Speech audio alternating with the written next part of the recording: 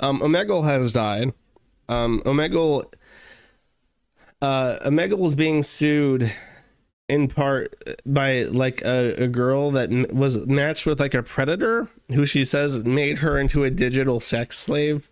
So uh, she was matched with a pedophile, and then she, I guess, allowed herself to be entered into a situation where she was being extorted online, and that's Omegle's fault. And she's they're being sued like for two hundred forty million dollars.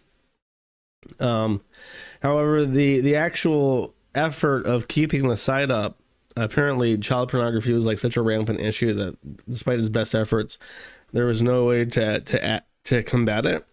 And this is sad uh, for multiple reasons. The big one is that um, it signals to me that even like Omegle was not like a small site. Everyone knows what Omegle is, so it signals to me that even medium-sized sites are going to go down.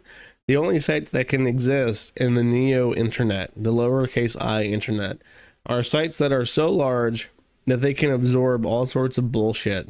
Um, they have money out the, to hire entire staffs of people.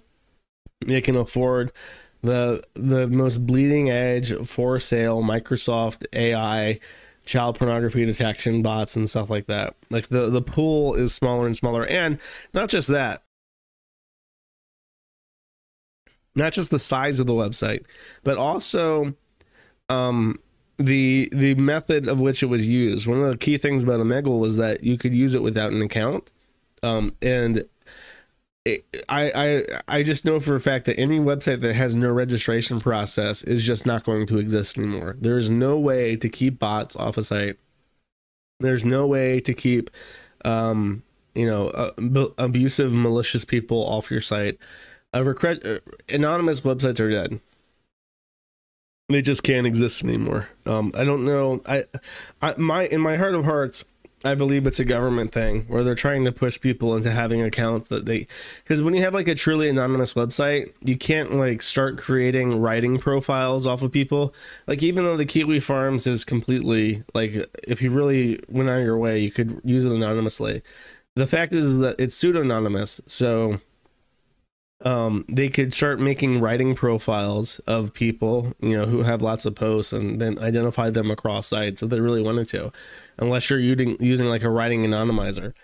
Um, and currently that's like a technology that's only available to people who are in government. But um, I don't know, maybe it might leak out and become like a, a public thing one day. Normal people can't really use it, but uh, they definitely don't want anonymity to exist online and they're doing everything. I believe they're doing everything in their power to destroy it, because uh, it's uh, it's just um, it's not in their interest to have people able to have a conversation um, without without names attached to it.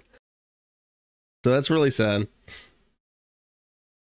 And then likewise, um, I don't like to talk about the Sharty because they have issues with child pornography and um, I, like if I talk about them and people go and check them out, like they might be exposed to child pornography. So keep in mind if you visit an anonymous image board in 2023, including the Sharty, uh, there is a, a non-zero chance that the first thing you'll see on the site is child pornography. So I don't talk. Usually, I don't talk about it. Um, I don't use it myself because I'm just I don't use image boards anymore. But um, uh, yeah, I've, I've gotten really negative feedback about talking about it. But one thing I wanted to point out was like in the same vein, um, somebody was basically like threatening the admin of the Sharty, um, which is a, an image board dedicated to like Soyjack memes, which has like a really weird pop culture that's kind of like large.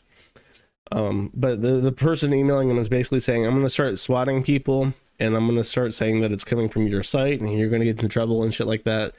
So like the whole it's just it's it's so bizarre how trivial it is for single bad actors like a handful of people or even one person to go out and malign a website as being like a stalking platform, a child pornography platform, a uh, you know revenge pornography platform, and then compel governments and um, ISPs and shit to like take action and shut down the site. It's really tragic.